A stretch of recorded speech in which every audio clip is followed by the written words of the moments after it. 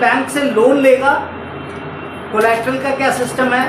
Work आएगा कि हम इसमें देख क्या रहे हैं? इसको भी मैं जनरल एंट्री से नहीं लिंक कर रहा। कमीशनर्स आएँगे टीवीज आएँगे।